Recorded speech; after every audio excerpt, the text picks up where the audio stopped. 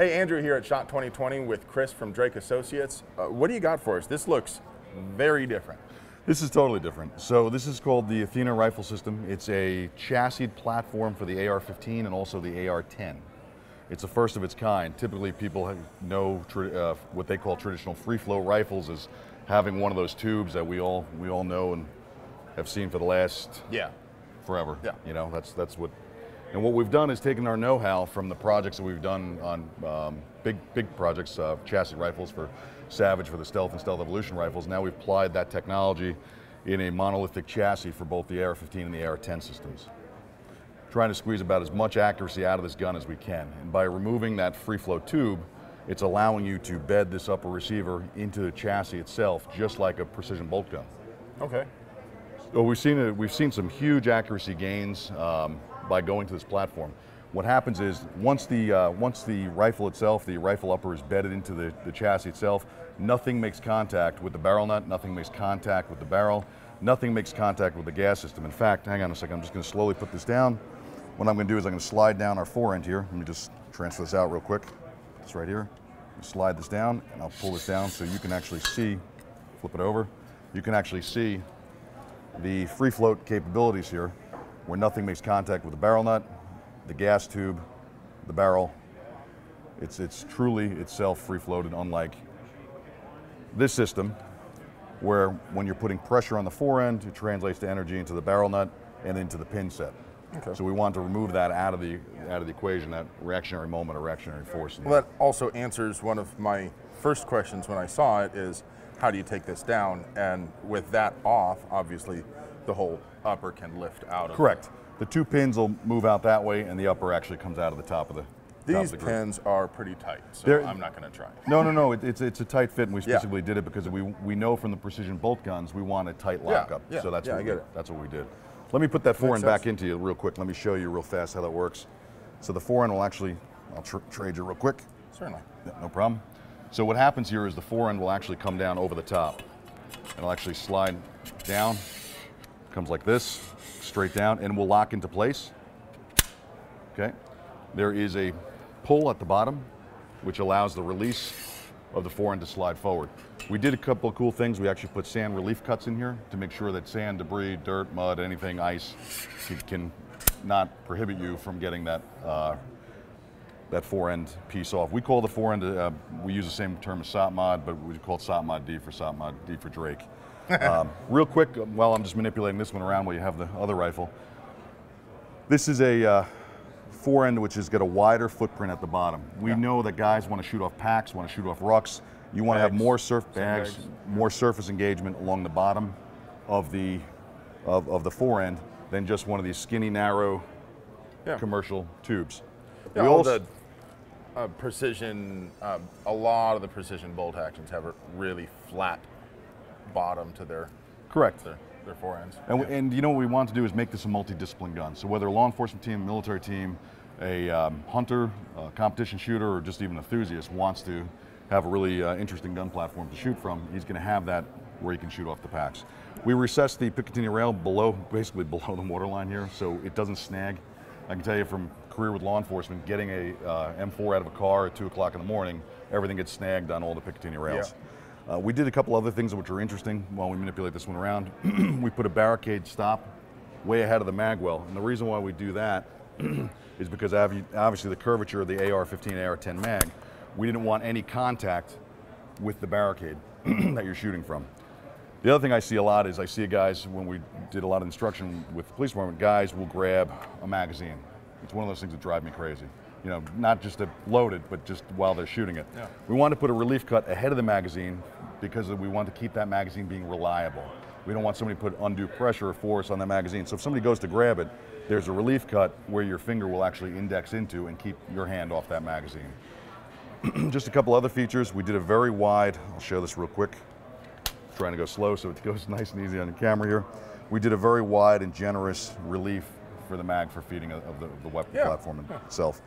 Um, the, this in the AR, uh, AR-15 configuration, we're showing this here just for display purposes with a, uh, this is a government contour barrel. It's not the barrel that we typically feature. The barrel that we feature is the heavy contour in there.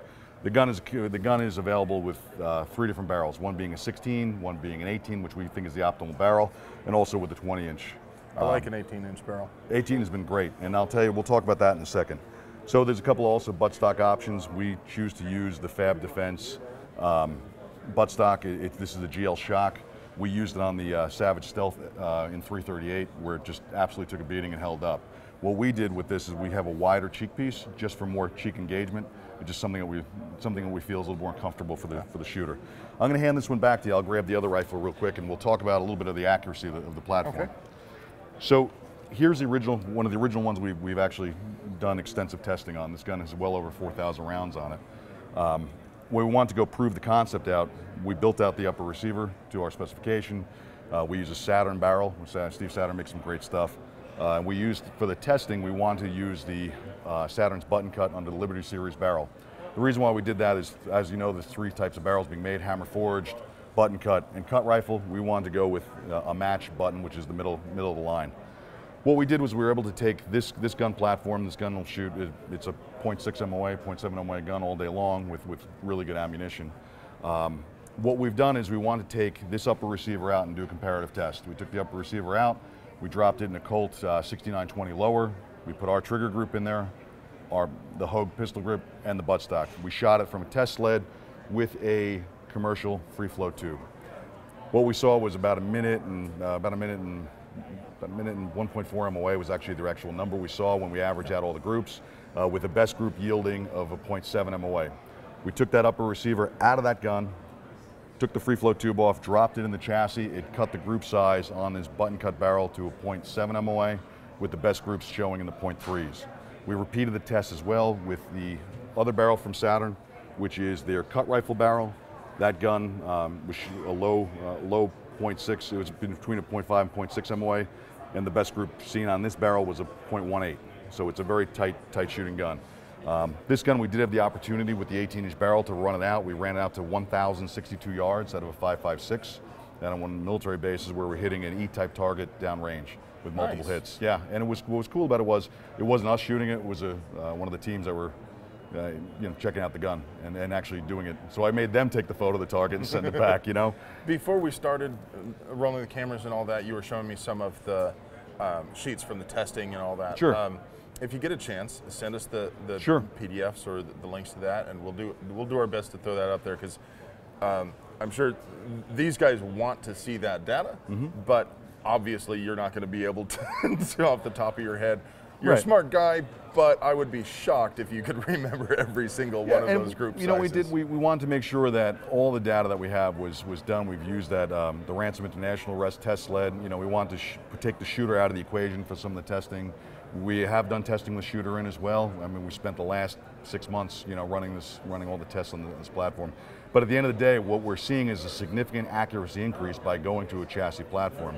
Uh, the development of the gun was about 24 months in development. Um, bunch of patent work later and uh, relying on a bunch of patents that we have, we really made this thing come to fruition and make it work. Um, just a few things real, real also interesting about this is we're checking out the um, Fab Defense uh, RAPS buttstock. It's something new that they're that they're uh, come out with with this year. Actually, we had one of the original ones that we prototypes that we actually got a chance to play with. What I liked about it was the clean, no wheels. It was just a clean fit. Yeah. Something different. Um, if you also take a look here, displayed on this weapon is a Liberty's Defense uh, suppressor cover wrap. I was Um, looking at that. if you were here a couple of minutes ago, uh, Chris Hall from Liberty's Defense was here. They're uh, doing a lot of work with the special operations community. Um, the gun itself, and, and I meant to tell you, what we also found interesting about this, it's not a, uh, it's not a $4,000 rifle that you'd expect.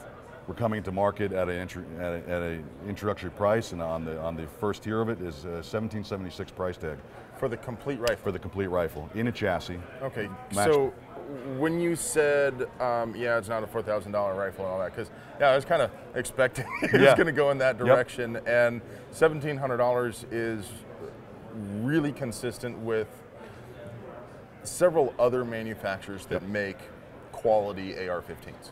You know what? We this is this is a precision gun, but what we learned from doing all that work with Savage, we saw where people were buying, you know, on the Stealth and Stealth Evolutions in that 1,200 to 2,300 dollar mark, and we said, look, we don't want to make this a $4,000 gas gun, you know, and, and, and limit the uh, re- Yeah. limit the reach to people. We wanted to get this where a guy could get a high quality barrel, high quality trigger, in a chassis system and have the semi-automatic capability. And let's keep it at a reasonable price. So, with the entry, with the uh, first gun coming out at the 1776 price, it'll feature, the, say, the 18-inch barrel, the the match trigger group. I mean, they can choose either the 16 or the 20 barrel, but and that's that's really where it's coming. Um, the only changes on these guns as they go up in price is just changing the buttstock equipment on it. That's that's pretty much it. And the colors. And the colors. The colors are olive drab, and we like the uh, we have an olive drab color, which is here. We also have an anodized uh, flat dark earth. Uh, this is one of our first ones. We did it in a uh, dark burnt bronze, which was just a one-off for us, but it was just something cool. When can I buy one? These are going to market right now, so we're in the in the middle of getting the production run moving forward as we are uh, moving forward for 2020. Um, they should be hitting the uh, should be hitting the floor pretty soon, so we're uh, full swing here. So any day now. Any day now. Let's go with that. awesome. It's all good. If we want to know more, where, where should we go to learn more? So if anybody has any questions, you know, feel free to reach out to us. Um, you can contact us at drakeassociates.us. You can sign up for our, um, there's a newsletter that we have. You can sign up for it. You can shoot me an email, cdrake at drakeassociates.us. You can reach us on our business line at 631 749 1100, or even just go to our website, drakeassociates.us. And Awesome. we're happy to take your calls.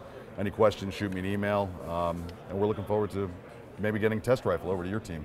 That would be fantastic. I would love to get my hands on one. Excellent. Thank you well, for thanks, your time. guys. Thank you for everything, guys. Thank you guys for watching. We're going to be at a lot of other booths. Stay tuned. I love you.